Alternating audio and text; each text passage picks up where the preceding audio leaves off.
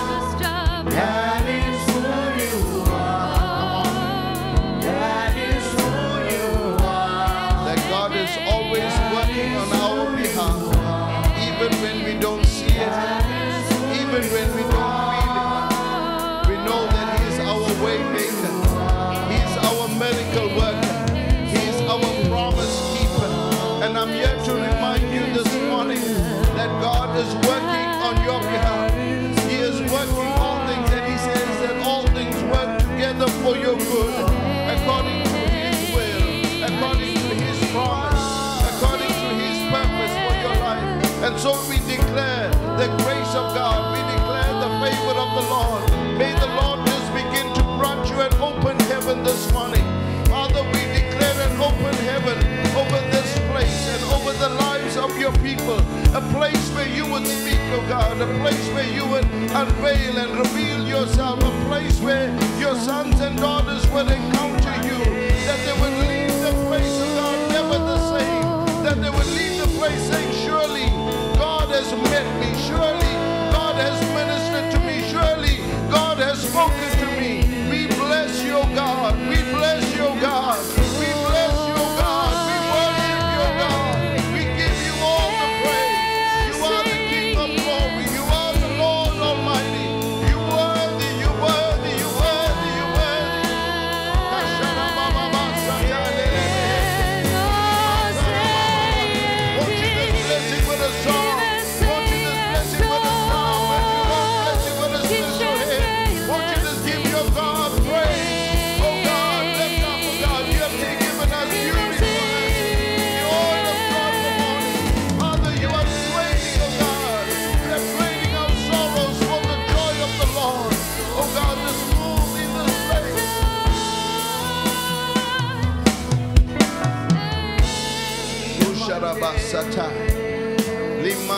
Limanda rabasete lelebehende. Limasata lebehende. We worship you, King of glory. You are the Lord Almighty. We bless you. We glorify your name. We worship you, Lord. In Acts chapter 17, verses 10 says, As soon as it was night, the believers sent Paul and Silas away to Berea. And on the way, uh, uh, on arriving there, they went to, to a Jewish synagogue. And now Berean Jews were, all, all- were more noble in character than those that were in Thessalonica, for they received the message with great eagerness and examined the scriptures every day to see if what Paul said was true.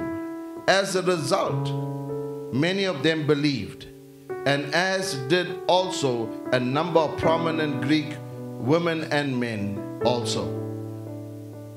I like this portion of scripture when it refers to the to the Bereans. It says, and they received the message with eagerness and they examined the scriptures. Amen. That means there, there- there is something that is important that we have to receive the message with joy. But the next thing we have to do is hold on to it. And the third thing we need to do is examine it for ourselves. Amen. Amen. That means after you go out of this place this morning, after your encounter with God, you have to go back, look at, uh, remember what you've received, and once you hold on to it, you've got to examine it and say, God, is this what you're saying? And when they examine the scriptures, the fruit of the examining of the scriptures caused many of them to believe. I'm here to say to you when you engage with truth, you cannot help but be changed. You cannot help but be changed. And I'm here to say to you today, this morning, put aside everything, every weight, every concern, every every trouble, everything that is in your mind, and you just come before the Lord this morning, and you just say, Lord, I'm here to meet with you. I'm here to just receive from you and allow the Lord just to minister to you. Allow the Lord to just deposit in you. Allow the Lord just to speak to you. This is your time. You've come to spend time with your Father. Amen. And when you're in your Father's house, you try and grab as, as much as you can. And this morning, you don't have to grab for somebody else. You got to grab for yourself. Amen. Because once you, you take it into your life, it will eventually change everything about you. It will change everybody around you. Amen. I'm here to say to you, lives are going to be changed. Lives are going to be transformed by what God is going to begin to do in your life. Amen. And Father, we come before you in the mighty name of Jesus. Father, I pray, oh God, give us the spirit of that of, of the Bereans. Father, give us a spirit that eagerly pursues you. A, a- a spirit that, that uh, of discernment, a spirit of God of, of, of righteousness, a spirit that causes us to passionately seek after you. And so we say, oh God, this morning, touch our hearts with the things that touch your heart. Touch our hearts with the things that touch our heart. Oh God, I pray, oh God, let us not leave this place the same way we entered in. Let us leave this place changed and transformed. Saying, oh God, that surely, oh God, let, uh, let others see it on our face that we spend time with God this morning, that we spend time in His presence, that God showed up, that there's a ministry of grace. Because when Moses spent time in the presence of God, that it showed on his face that even they could not even look at him. And I want you to know today, this is God's desire that every time you spend time in Him, you should look better. You should look different. You should look more and more like Him. That the Bible says that when, when, we see Him, we shall be like Him. And so, Father, bless us, oh God, our worship, our praise, our getting around the word today, oh God. Let everything be done to, for your glory. This minister, this speak, this reveal your heart this morning in the mighty name of Jesus. And everybody said, Amen and amen. Amen. Amen. Well, God bless you. Amen. It's good to see all of you this morning. Amen. Let's just worship God together. Amen. Hallelujah. Amen. We're going to praise God this morning. Amen. There's something right now that's bursting. There's a river that's flowing. And we want to jump into this river right now. Come on. Let's put our hands together. Yeah. Yeah. Because all glory belongs to Him right now. Oh. Thank you, Father.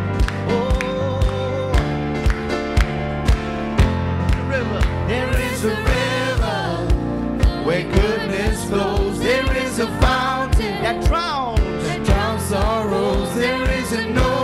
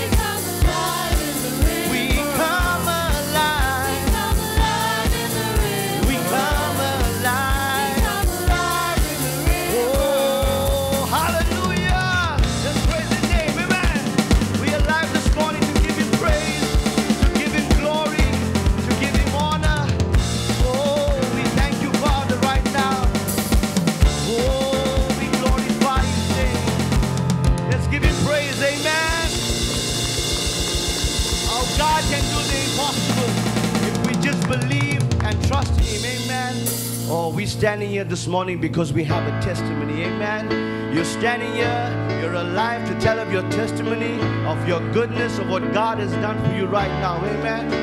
Whoa. I saw Satan fall like lightning. We saw darkness. I saw darkness run for cover. But the miracle. But the miracle that I just can't get over yesterday never. I believe, I believe in signs and wonders. Resurrection power, I have resurrection power. Still the miracle, still the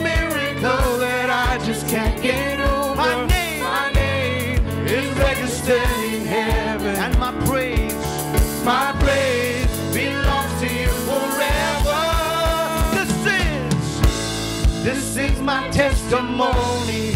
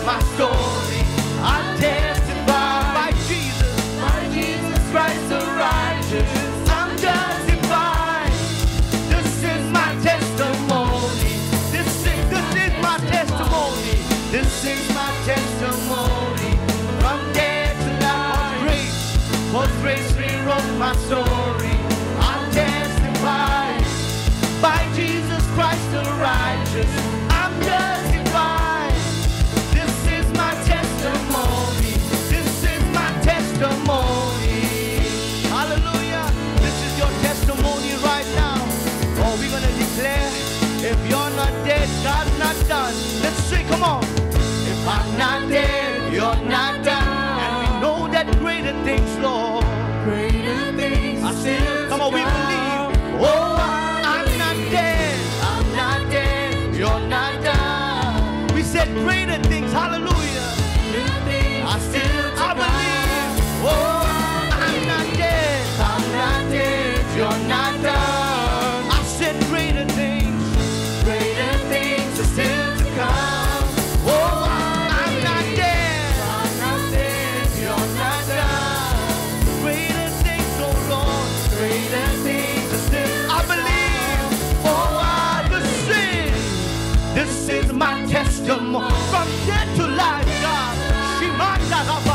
Oh, we speak life this morning.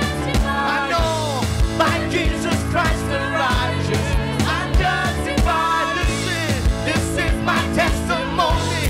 This is my testimony. This is, this is my testimony. From dead to life, God's grace rewrote my soul.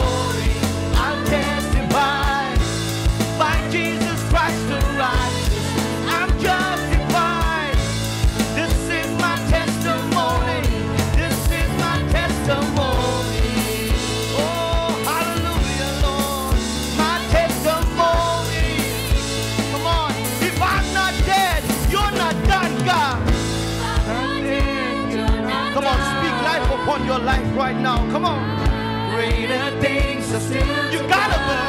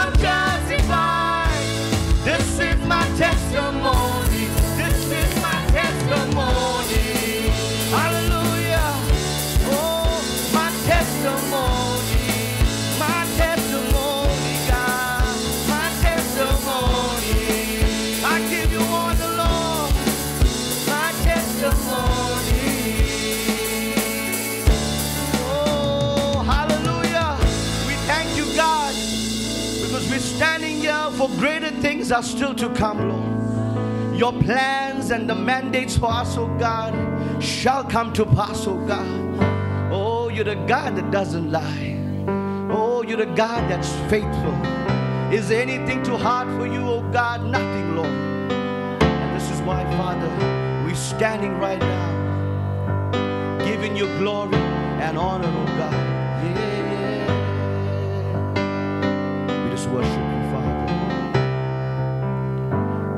Goes when you move. Yeah. Such an easy thing for you to do. You're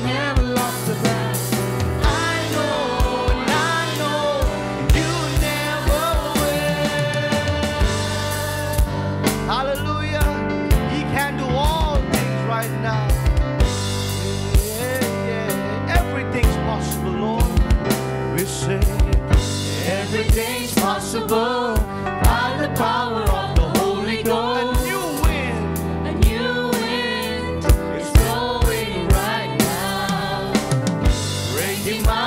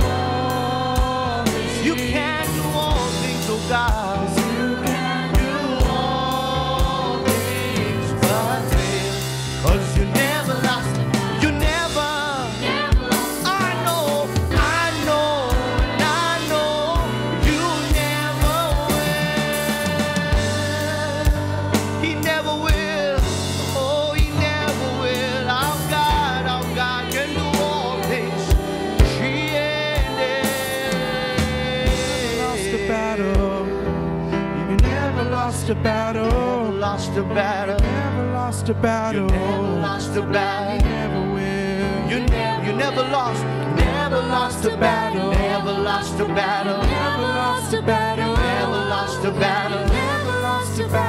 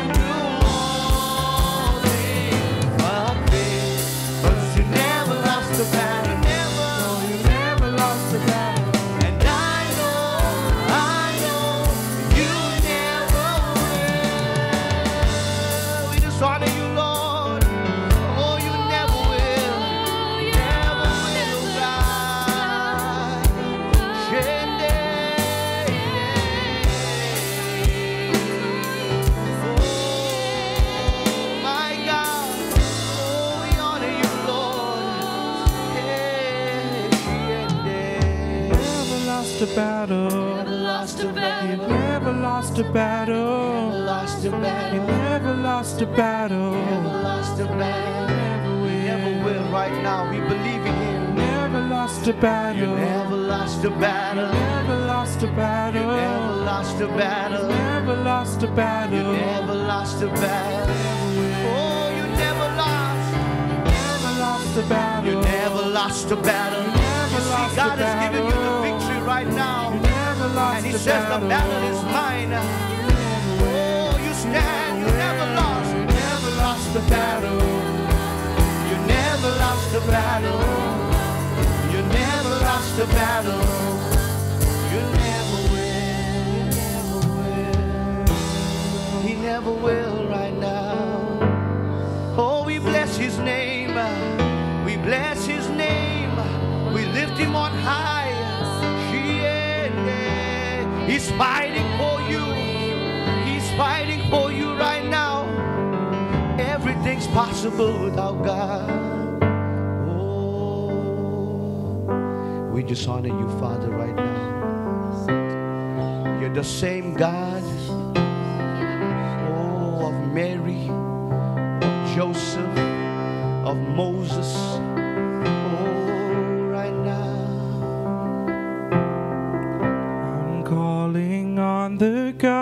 God of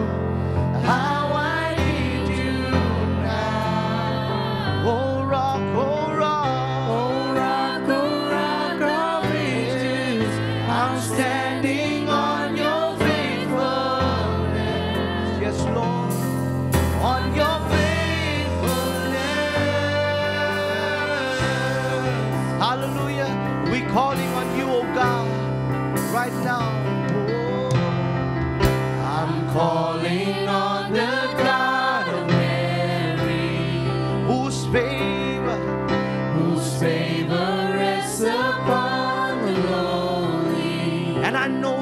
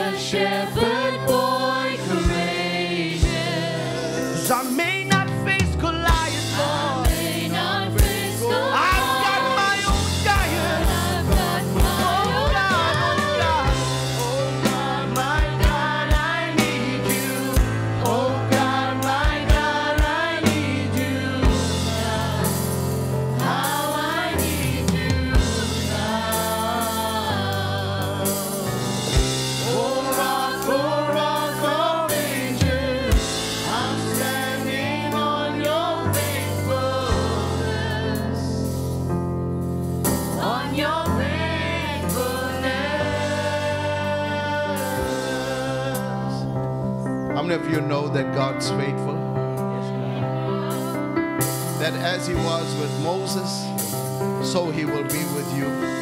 As He was with David, whatever you're going to face, whatever giant comes in your way, whatever obstacle comes in your way, whatever destiny stealer, destiny killer that is in your way, God's about to move Yeah, it. Amen. hallelujah. And so this morning, I want you to begin to, to speak over your life that everything that is trying to rob you of that purpose for your life, God's destiny for your life, you got to speak over your life. You got to own this. You got to begin to speak it. You got to begin to declare it. You, be, you got to begin to believe it. God's going to move on your behalf. God, you are showing up. God, you are showing up on behalf of your sons, in behalf of your daughters, in the mighty name of Jesus. You are a God that is faithful, and there is nothing that is too hard for our God. Show up in the lives of your people. Where there is a need for healing, heal, Lord. Where there's a need for deliverance, deliver, Lord. Come on, somebody. Wherever there is a need for God to break through, God break through. Cause a door to open, oh God. Cause supernatural provisions. Cause supernatural provisions in the name of Jesus. We declare that you are the head and not the tail. You are above only and not beneath.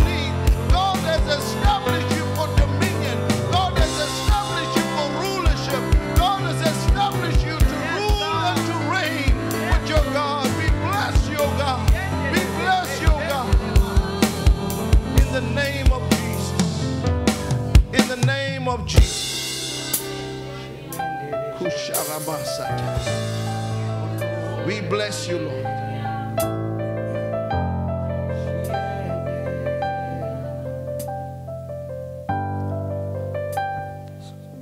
Paul writes a, a letter to, to Timothy, his spiritual son, and he says to, to Timothy, he says, Do warfare with the word that has been spoken over your life. That means some of you have just accepted this is my fate, this is my lot in life, this is, I deserve this. And I'm here to say to you, the Bible says, Eye has not seen, nor ear heard, neither has it sometimes even entered your own heart, your own mind, what God has in store for you. So don't let the devil tell you what God has in store for you. Because the devil is a liar. He's a manipulator. He's trying to steal from you that joy. He's trying to steal from you that plan. He's trying to steal from you. And I'm here to say to you, nothing that came down the bloodline, nothing that has been done by your by your ancestors and those that were came before you, your, your grandparents and great grandparents is going to affect you. Because God's plan for your life will come to pass. God's plan for your life will come to pass. Come on, somebody. I've got to see it beginning to come to pass. I may not see Him working, but I know that He's working. I may not feel that He's working, but I know that He is working. God's working it out for you. God's showing up on your behalf. God is showing up in your situation, on your job, in your workplace, in your home, in your family, in your children. Showing up. Come on, somebody. I, I feel it in my spirit. If you got allow Him in, you got to open up that door. You got to say, God, I want you to come in. And as God begins to show up, I'm here to say to you, things are about to change. Things are about to transform. In the name of Jesus. In the name of Jesus.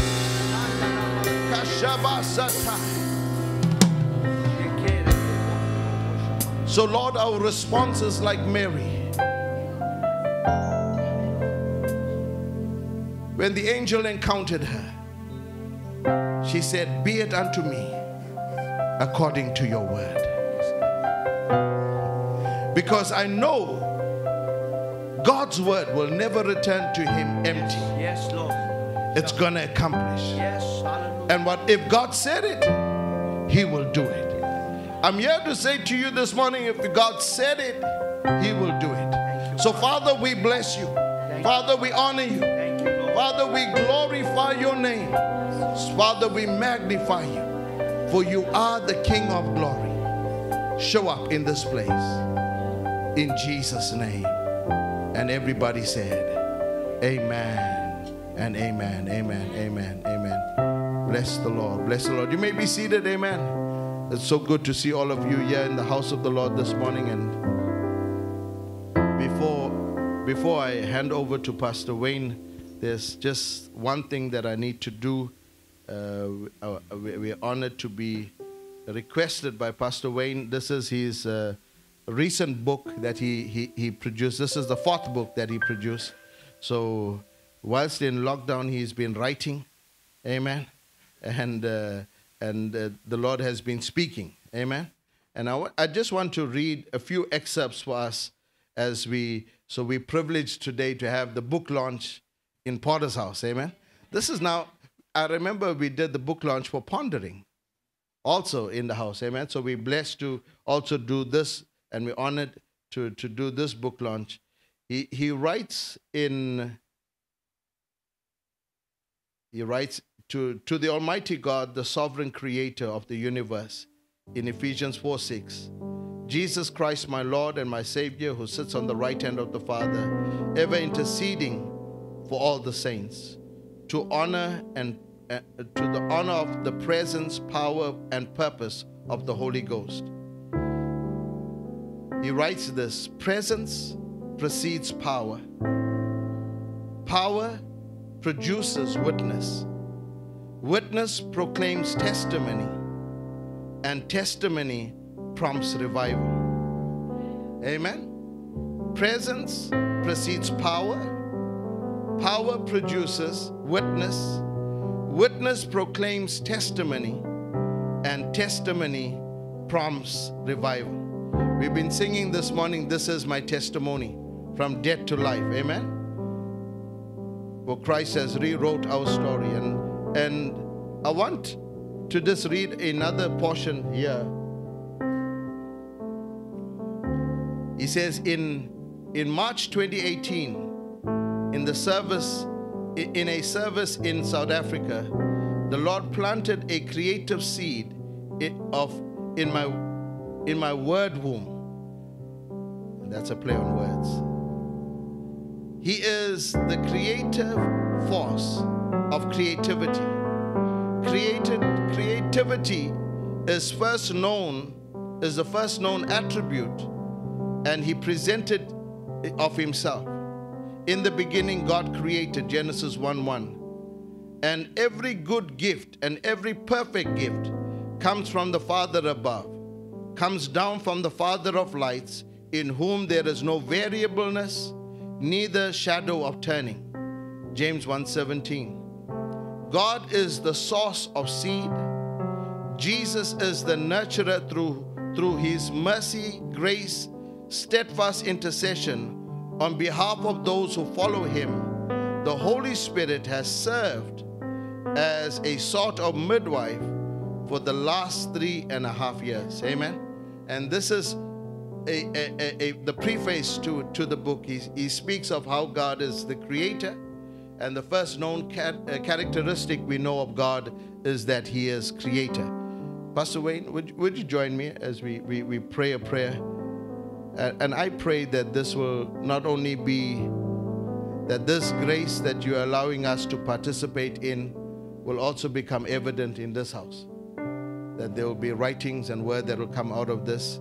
I pray that this will, will be a tool that will speak.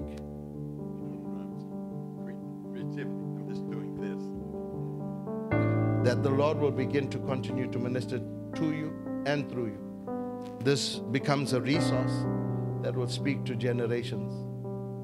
And one of the things I was I was hearing of someone say the other day, you know, through your life you can tell stories. But through a book, you can leave stories.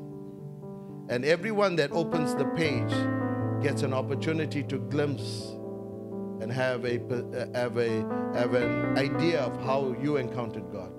And that's my prayer. That they would not just read the words of the book, but they would receive the spirit in which God deposited this in your life.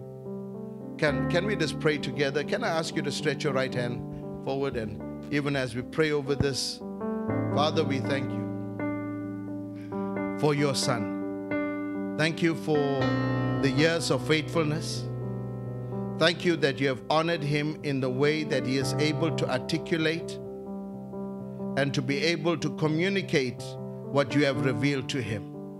And so I pray that this will not just become another book, but it will become a resource and a well that others will come and drink of. May it produce revelation that will ensure the, the development of the body of Christ. May it show, ensure that grace of God will continue, that others will be spurned on to continue the work. And I pray that even in the life of your son, may he be known in the gates of the city. May, he, may his works, oh God, go before him. And may, oh God, the, the works of God create an audience. So, Father, I thank you for what you have placed in him, what you have, you have communicating through him. And I pray that for everyone that reads this book, now, Lord, we dedicate this book in the name of the Father, the Son, and the Holy Spirit. That which you have deposited, let it, oh God, let it find room in many lives. And for everyone that is searching, let them find a resource that will help direct their steps. Take them further, take them deeper in you. In Jesus' name. And everybody said, Amen and amen. Amen. Amen. Amen. Amen. Bless the Lord. I can tell you if you ever if ever you've written something or you put out a paper, some of you know when you write out dissertations and you pour your heart into it. It- It's everything that is inside of you. And and and I think this is important for us that we would we would begin to ask God to just create in us. And that's my, my prayer. That that spirit of creativity that God has placed in you will be transferred into generations to come. And when you look at it and you see it, you will say, This is I have uh, been a participator in this.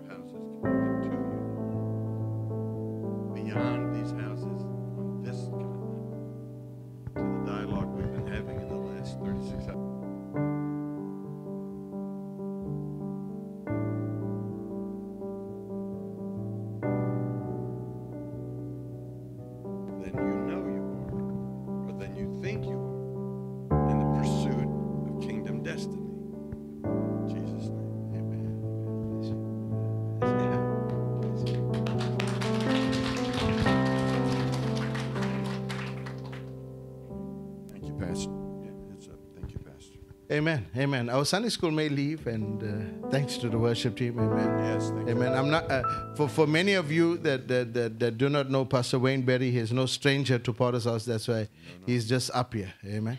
Uh, Just stop here. Amen. But uh, he's he's blessed us over the years. He's served over close on to 30 years as a worship pastor at Spring House from in Smyrna, Tennessee, uh, and uh, he's done many many. He traveled throughout the nations, throughout Africa and other nations as well, really teaching the word of God. That's one of his his his. Uh, his pet peeves. That is the, the, the mandate that's over his life, and we are we are grateful for what God is doing. So we receive you, sir, and share what the Lord has laid on your heart. Amen. Thank you, Pastor.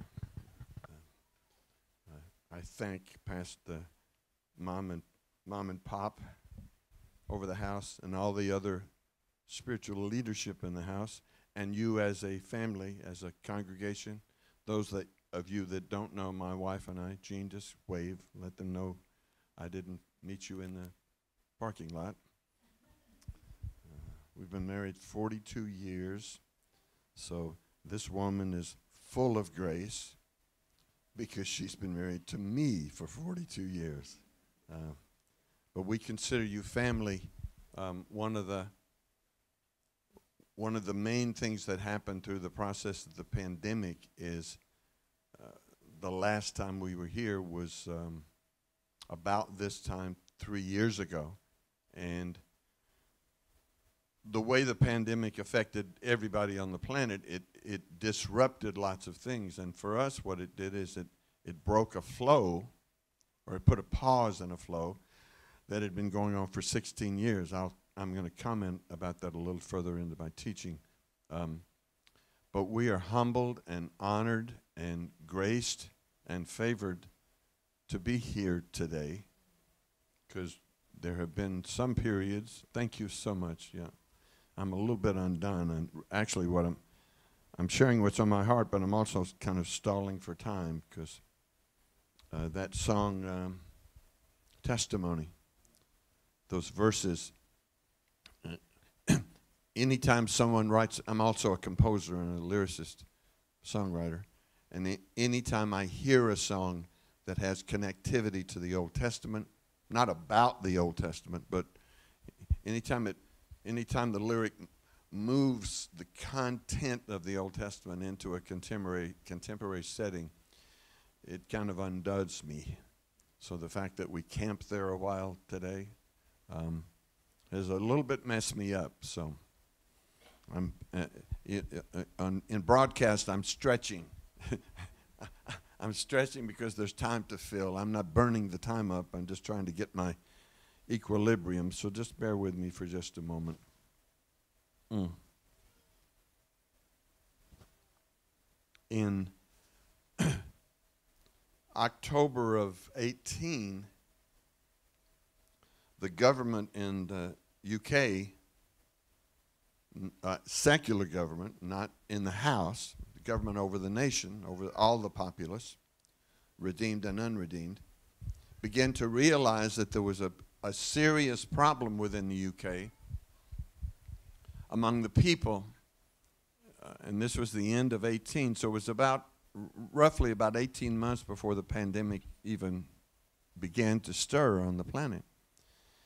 And the problem that they, they began to realize existed was there was, a, there was an aspect of isolation. This is pre pandemic. There was an aspect of isolation and separation and restriction in the lives of the people especially the elder, elderly and the young. It was, it was more identifiable with the elder, the elderly population and with the youth. Wasn't excluding the middle age. It just the numbers were showing them that there was a, a difficulty arising in the UK. So the government created a new category ministry wise. Now, in ministry, when I mention ministry in the house, everybody immediately is thinking minister and pastor. I'm talking about secular government.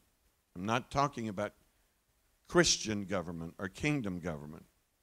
So the titles within the, uh, within the government in the UK is a Minister of Health, Minister of Finance, uh, uh, Minister of Education.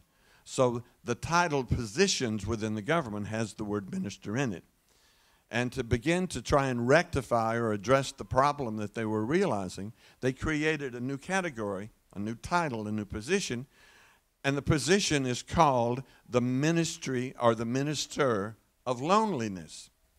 The government of the UK actually has a governmental category to deal with loneliness. And this is pre pandemic by about 18 months. I'd been dealing with hope and processing that and turning that over in my spirit for some time. So I would research, and the Holy Ghost would put things in my path. And I came across an article that addressed this. And as I was reading it, I just began to weep in my study because I went, for, for a world government, a temporal government, a, a government out of the house, to go, we need to do something about our, our people, meaning the residents, the citizens in the UK. We need to do something for our people to combat loneliness. And it undid me. Uh, and that's really where this teaching is coming from. Although the teaching is it's relatively new, it comes from several years of handling hope. I'm, I'm going to share with you briefly let me know when I have about 10 minutes, please. Uh, about building a bridge of hope. That's what I'm going to title this, just so you've got, you've got it on wherever you document it. Some of, I know you have a lot of note takers here, so we're going to talk about building a bridge of hope.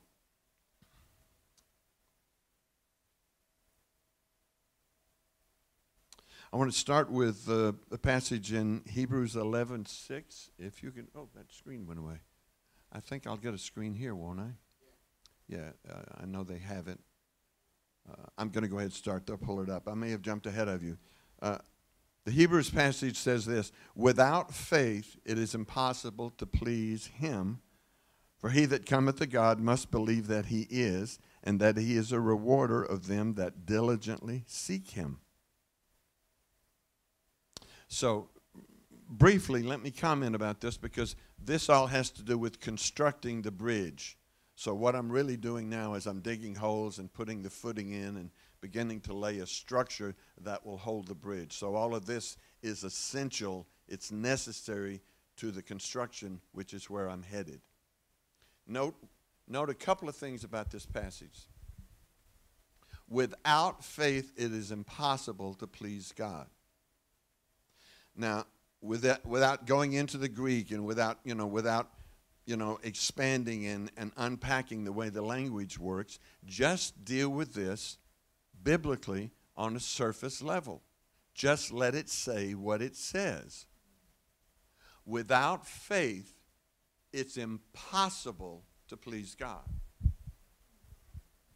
In that phrase, there's no subtext. There's no parentheses. It's impossible to please God, parentheses, except when, dot, dot, dot, close. It's not there. So, what does the word po- impossible mean? On a base level, it means it's impossible.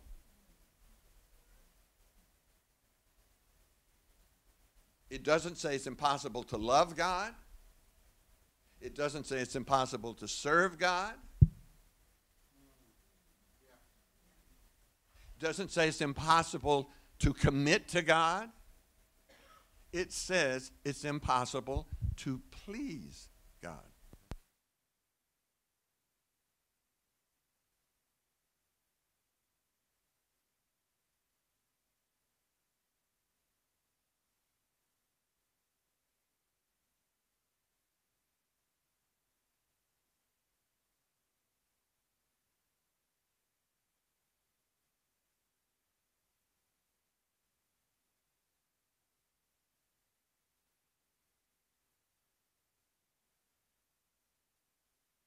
Am I louder now? I'm no, I'm I'm I'm a I'm a bit laid back. You know, like I said, the the worship and praise time un, undid me a little bit. There you go. Now you found me. You in the back got me? Okay, good. I hear I hear myself coming off the wall back there. Uh, in fact, I live off the wall most of the time. Uh, just note the word seek. Okay, so if it's impossible to please God without faith, the next logical step, at least in my universe, is to determine what faith is. If I ask you, I'm not going to, I'm going to answer the question for you, but if I ask you to tell me what faith is, most of you, or many of you, based on your understanding and your relationship to the Word, would say this Faith is the substance of things hoped for, the evidence of things not seen. Hebrews 11 1. Because that's the passage that defines scripturally what faith is. The verse itself is not problematic. The verse itself is sort of like the phrase, it's impossible to please God. Take it at face value. Take, don't, don't try and unpack it. Don't try and analyze it. Just realize that it's saying faith is the substance of things hoped for the evidence of things not seen. Here's the difficulty. Most of you, most all of us in the body of Christ in the last couple of hundred years have had much teaching, much insight, much revelation, much instruction about faith what it is, how it operates, how important it is to live by faith and to believe by faith. And that's not wrong, that's scriptural. Because the New Testament is full of directives about faith and how it applies. So that teaching and that instruction, what you what you carry that you believe about faith is really important. However, that passage in Hebrews 11:1 that defines faith says that faith is the substance and evidence of things hoped for. So, this is what that says to me little, little hope, little faith. No hope, no faith. In other words, the presence of hope is required for any faith at all to be there.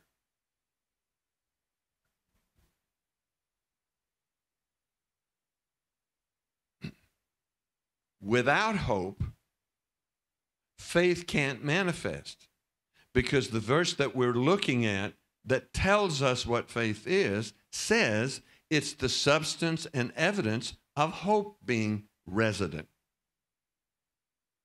So, all the focus about faith, I've lost my faith, my faith is weak, I have the faith to move a mountain, all of that rhetoric, good, bad, right, wrong, up or down, all of that rhetoric is essential. It's actually a requirement to nurture faith. But faith does not self generate. For faith to function, hope has to be there first. Now, I'm gonna I'm pick you I'm gonna pick you up in case we in case there's stragglers along the way. Go back to where we started. The ministry of loneliness. Loneliness is so bumped up or connected or uh, or yoked to hopelessness. Loneliness and hopelessness. Which comes first, the chicken or the egg? Does loneliness breed hopelessness, or conversely, does hopelessness create loneliness? I don't know the answer to that. I just know that loneliness and despair and depression and hopelessness, the loss of hope, is rampant on the planet. And it's rampant in the church. And what I just said has nothing to do with salvation. I'm, I'm not addressing once saved, always saved, or how saved are you, uh, you know, or what was the process of your surrender to the Lord. I'm not addressing any of that. I'm addressing hope. That's what I'm talking to you about. So, if it's if it's a requirement for faith to be functioning in order to please God, then defining faith becomes critical to work out being pleasing to God. And if faith cannot exist unless hope is there first, the next logical step is to figure out what hope is. See, if I didn't do this, if I, if I wasn't working the language with you, and we were just going to talk about faith, we could say a lot of things that are biblical. We might say stuff about faith that's not true at all. For example, if you say, or someone said, or you've heard someone say, my faith is shaky, or I think I'm, I don't, I'm not believing in faith like I used to. If you've had that dialogue, if you've looked in the mirror and said that yourself, that's not in and of itself incorrect, but it's not complete because your faith can only be shakable when your hope is shakable. So the point is not, can I live a life by faith? I'm not dismissing that. I'm not dismissing living a life by faith. I'm saying, based on Hebrews 11 1, that in order to live a life by faith, I must have the presence of hope inside my spirit. Little hope, little faith. No hope, loneliness, hopelessness, depression, da da da da da. No manifestation of faith. Because the writer of Hebrews gives us our corporate definition of what faith is. But we focus so much on faith. I'm not deriding that, that's valid. But in the process of building up a history within the church at large about focusing on faith, we have minimized what the very passage says faith is. It's I know I'm being redundant, but I'm doing it on purpose. Hope generates faith. If you've been praying, God, I need more faith in my life, you're praying the wrong prayer. If the faith in your life is diminished, it's because the hope in your life is diminished. So reshift how you pray for faith. You can't bypass hope.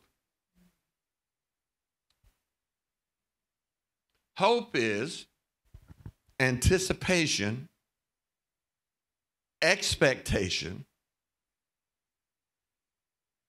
or confident belief.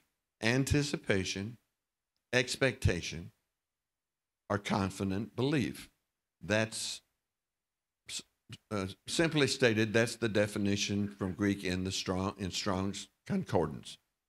There's a lot more to it than that, but that's th- that will give us enough to work with. And hope, based on anticipation and expect- expectation and confident belief, hope. Listen, listen. Hope isn't here yet.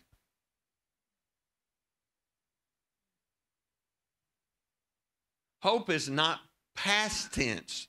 It's only past tense if you put an ed on the end of it. I hoped I hoped I would get here this morning. Past tense. Why is it past tense? Because I'm standing here. If I woke up this morning going, I hope that I get to share today. I'm now seeing my hope fulfilled because I'm standing in front of you. So hope is hope is always coming until it arrives. Okay? But faith can't show up till hope arrives. Now, for 16 years, Gene and I have been coming to this continent every year, sometimes twice a year, until this time three years ago when the pandemic hit. When that took place, it shut everything down. And for us, one of the key things it shut down is being able to come to the continent of Africa. And for me personally, saying that's disappointing is an understatement. And being disheartened by that was difficult. Wasn't mad at God, you know, wasn't looking for a demon under the rock uh, in terms of where the pandemic had come from. That's a side issue. All I knew was it's there's nobody's flying, nobody's going through borders. People, people are people aren't coming to church because you can't leave your houses. Worldwide. So everybody became using an old king, uh, uh an old childhood memory. Everybody became shut-ins even if you were well and healthy and you, you know and vital, you were still shut in. So Gene and I weren't believing to come back to Africa. Because our hope was on pause. There was no way to exercise faith. Watch. We couldn't exercise our faith because our hope was on pause. So last April, make a long story short, last April, the pause began to release. And we started praying. We started setting resources aside. I started doing what I had been doing for 16 years. I started coordinating our schedule here from America to come here, here, literally, here, in this room.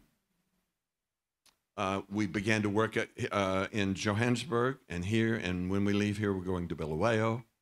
This has been a pattern for 16 years. So, how to redevelop that in light of what happened with the pandemic, we began to flesh out. So, we applied faith to our resources, we applied faith to our calendar, we began to look at flights, we began to look at accommodations and transportation. And uh, ministry opportunities and family time like we had out here last night with all this food. That's really one of the key reasons we come to Durban is to be in Chatsworth and pig out. uh, you all know what I'm talking about.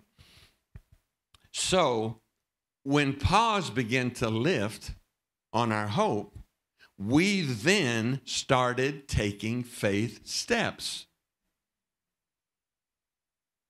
It didn't require us to exercise faith when our hope couldn't be uh, functional. When hope, we had hope, we had resident hope, uh, anticipation, expectation, confident belief. Believing that hope would manifest, we had. But we couldn't help it manifest because faith is the manifestation of hope. You can't get to, I will walk this out by faith until you got hope to carry that. So we're standing here because the hope in our spirits manifested as faith, and the mechanics of what we did brought us back to this continent. Now, what I just explained to you in terms of global travel and global ministry and coming back to this space applies to every day of your life. Every single day of your life. Because every place you feel in your spirit that you're to exercise some aspect of faith cannot be done until hope is resident. Okay, so the next question then becomes where does hope come from? Because we, we, I've defined hope for you, but I haven't said anything about where you get it. And I've said you have to have it before you can move in faith. Uh, just a little amen, just a little one, just a little one from somebody. Amen. Thank you, Pastor.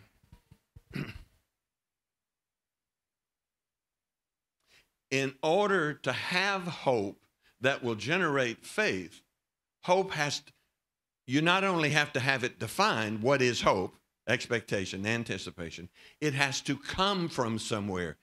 In the same way that faith is not self generated, hope is not self generated. I couldn't sit in my study at home where we live and go, okay, come on, Holy Ghost, come on, Holy Ghost, give me the strength to manifest hope in my life. Because it's not my hope.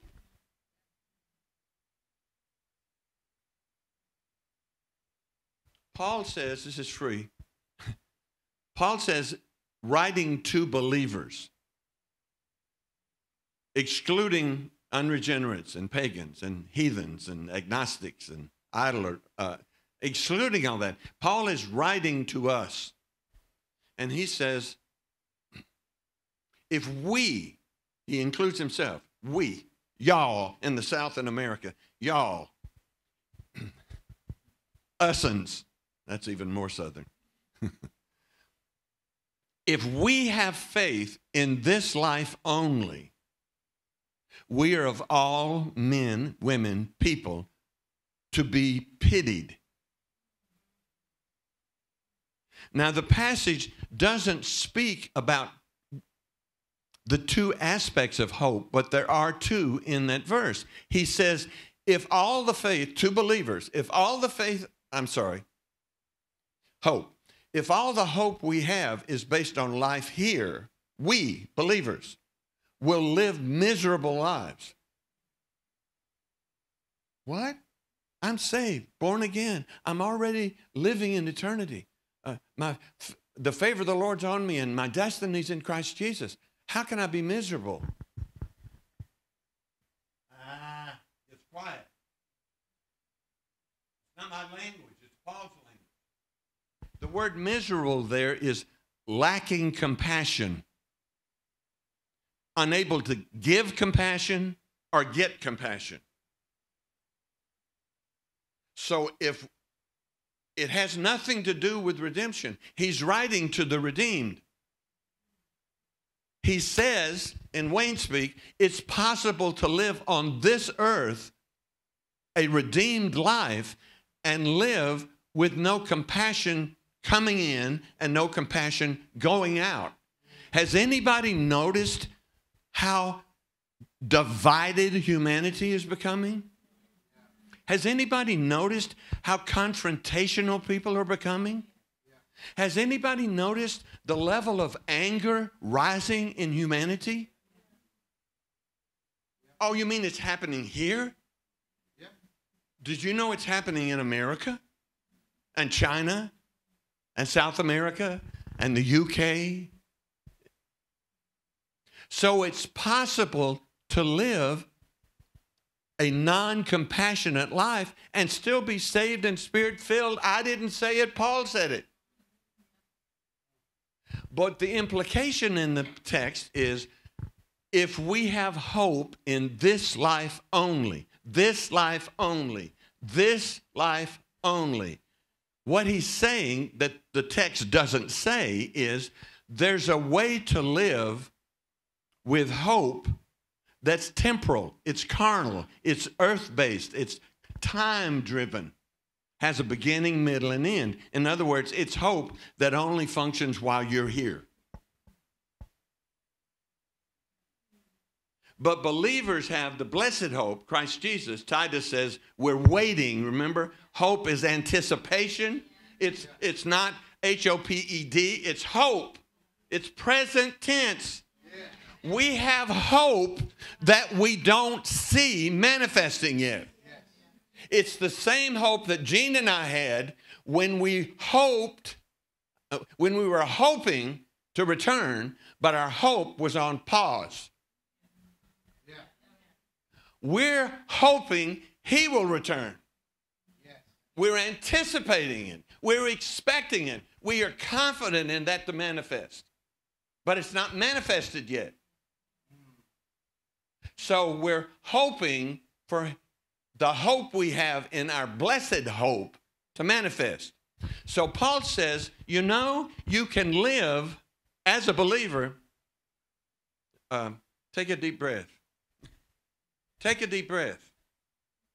Take a deep breath. I'll know you did because I'll hear you. He says to believers, you can live a life of hopelessness even though you're redeemed. Think loneliness, think depression, think bound up by no friends, no family, no contact with people. Think separation and humanity all over the earth. Think post pandemic, which is where we're living now. Paul says you can live your life here, temporal, with some hope, but it's not blessed hope. The separation point is Christians can function with two kinds of hope temporal hope.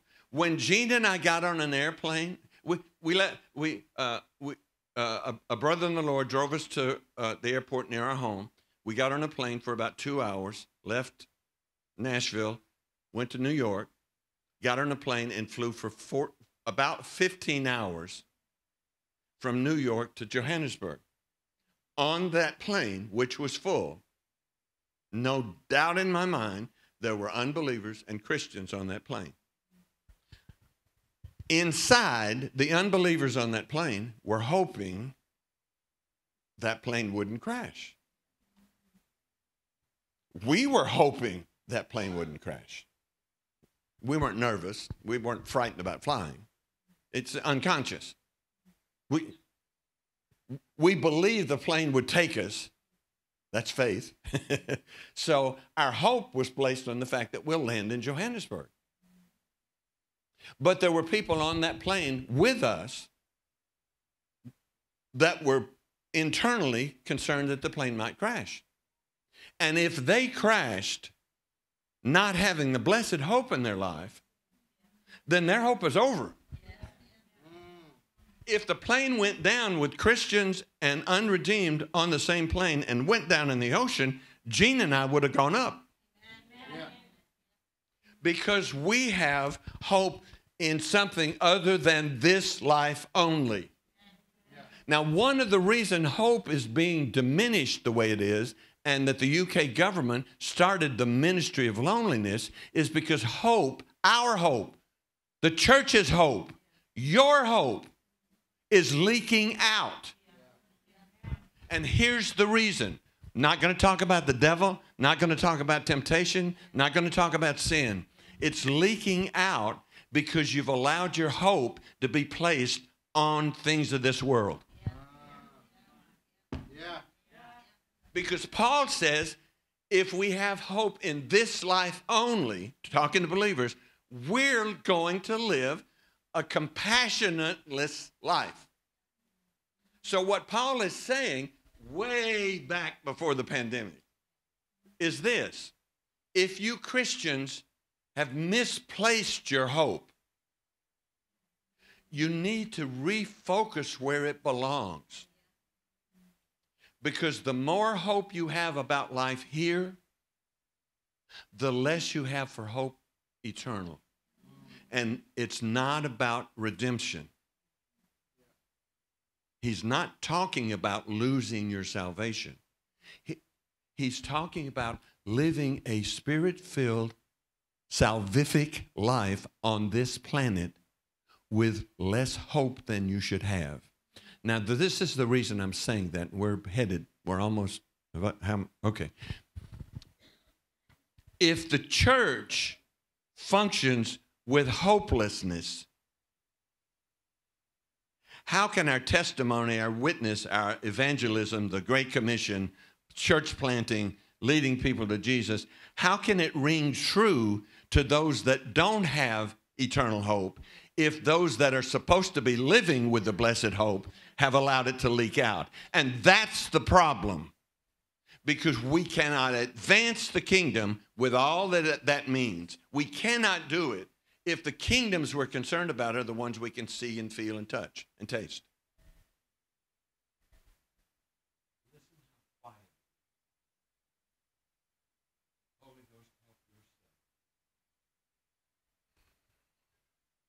I know I get a little intense. It's an intense subject. Okay, real quickly, let me answer this. Where does hope come from? Second Thessalonians 2:16.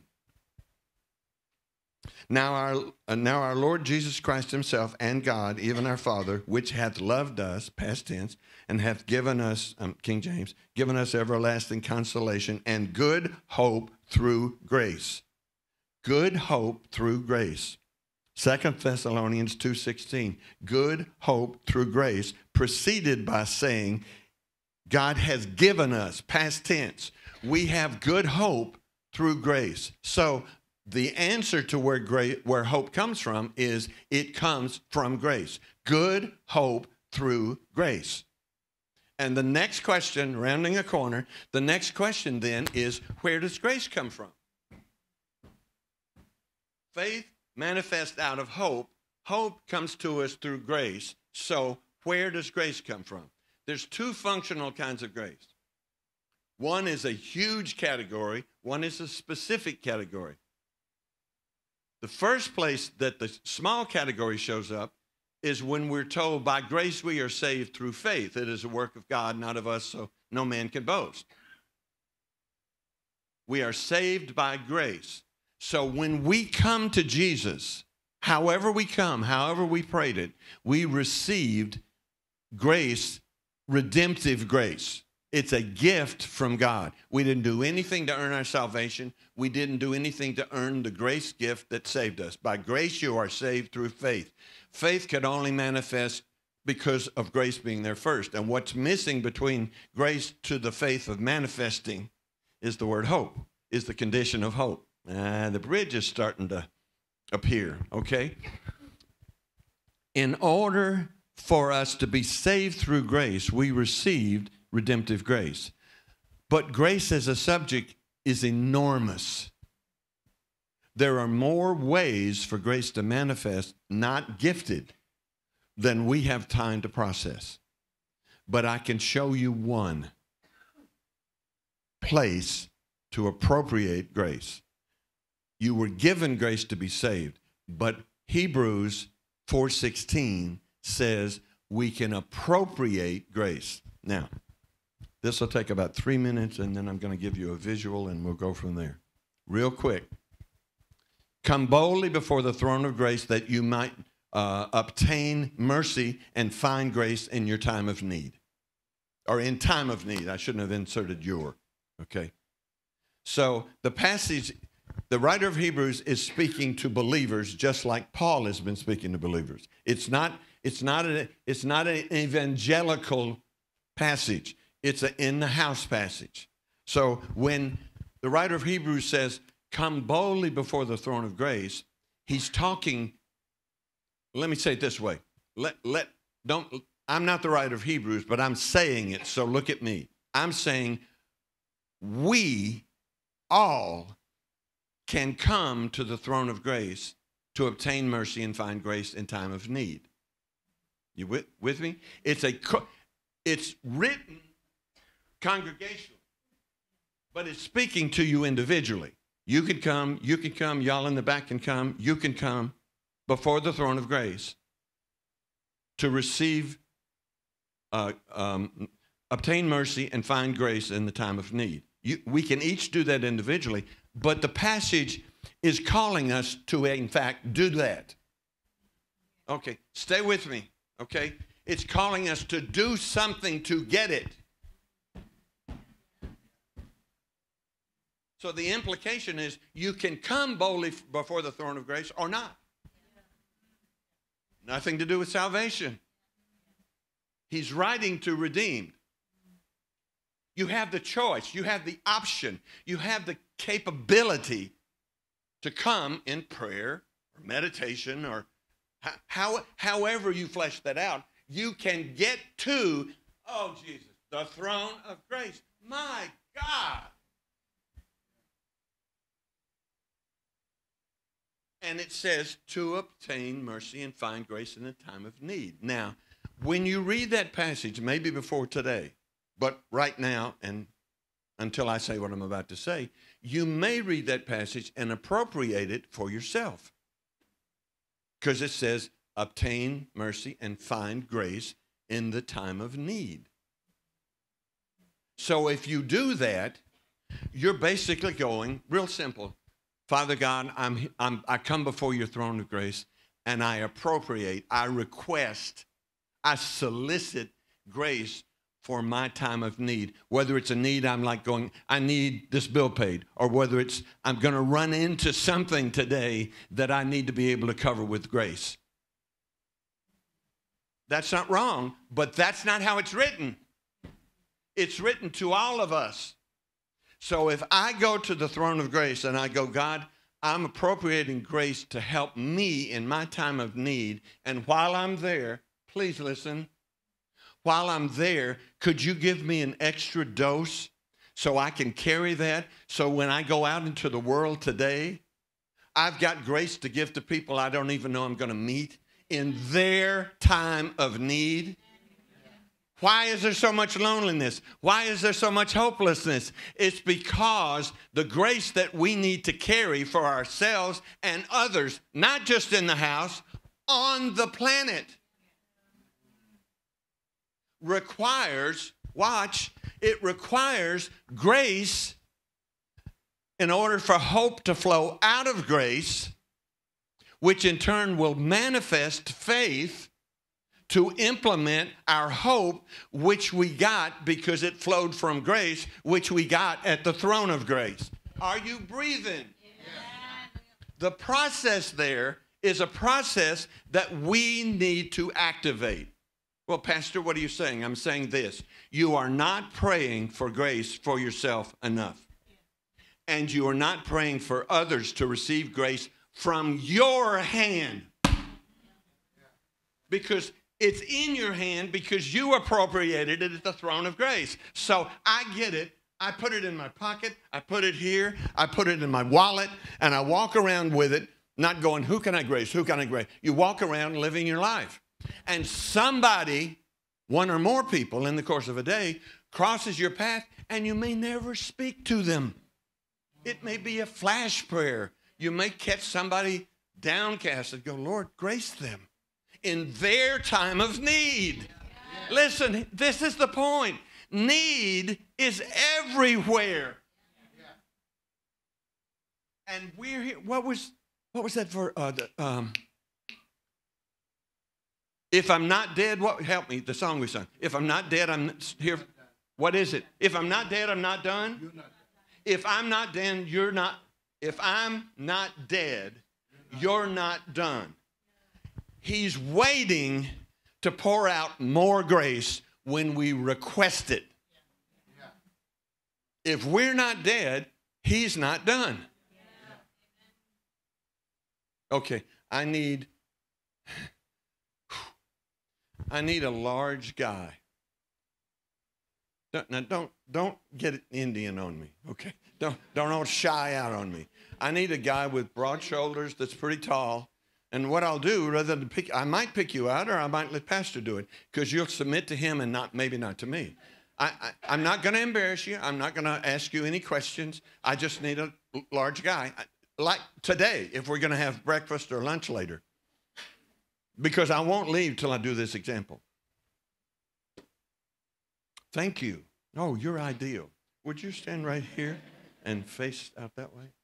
Now I need somebody between the ages. Oh, the kids left, didn't they? Okay. I need I need one person between 20 and 30 today to come up here. Male or female, doesn't matter. Come over a little bit, right there. Please, I need somebody between 20 and 30. Somebody today. I've been in this house before.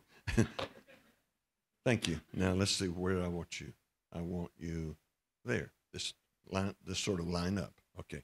Now I need one more person. Needs to be female. Needs to be between 30 and 40. Please, today.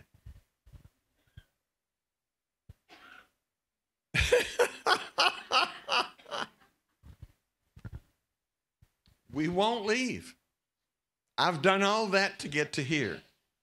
I need a female between 30 and 40 to just come stand right here. What? No, I, I ah, okay. Thank you so much. Oh, you can bring the baby. You, you know, you know me and babies. No, come on. Okay. Now, oh wait, no, right here. Thank you. this is a visual example for you visual learners. But one of the things I've learned teaching over the years is even if you learn by reading or, or you know or study you know or, or you just get a holy ghost download you can still retain information when you see it visually even if that's not your learning skill so it's not wasted on anybody so, some of you will remember what i'm about to do more than anything i shared so that's why i'm doing it okay in order for faith and hope and grace to follow that cycle, to follow that river, to follow that process, there has to be a bridge between grace and faith. And that bridge is the bridge of hope. So,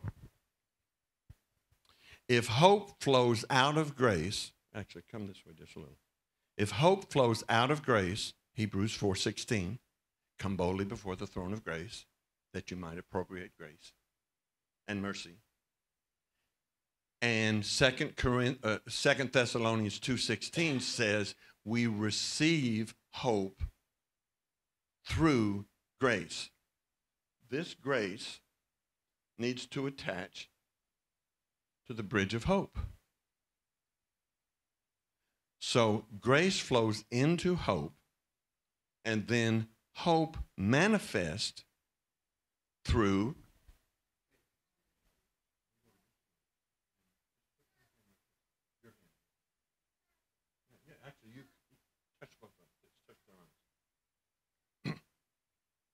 What I just taught is right there. You can't get from here to here without this. You can't get from here, faith, to grace without here. Thank you. Thank you.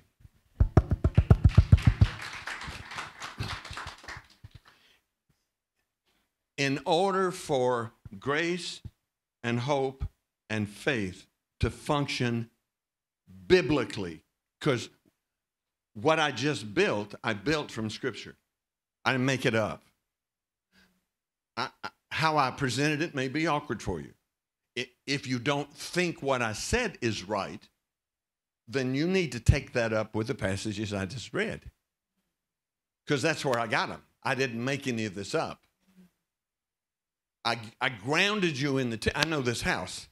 I grounded you in the teaching from Scripture so that you would see something you may not have seen. And this is the reason I did it from where I started. Without faith, it's impossible to please God. And you can't get faith without hope, and you can't get hope without grace.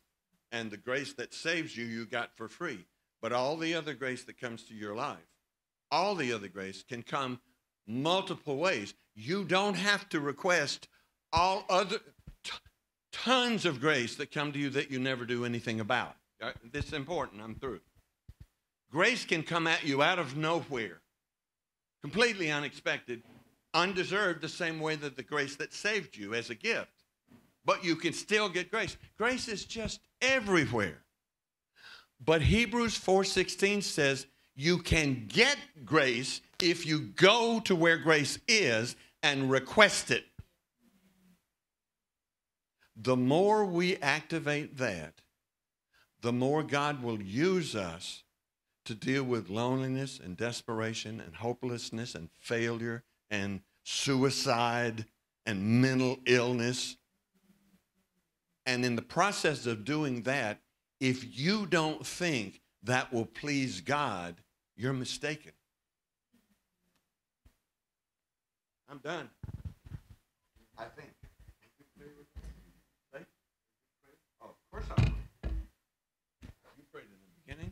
I, thought, oh, did I miss praying? Yeah. I'm. Yeah. I. I. I Father God, in the name of Christ Jesus, mm, through the presence and the power and the purpose of the Holy Ghost, I ask you to wrap your loving kindness around our lives, renew our minds, soften our hearts, liberate our spirits, and regenerate our souls for the sake of your kingdom and its advancement on earth as it is in heaven. And we pray that in our blessed Savior's name. And the church said, Amen.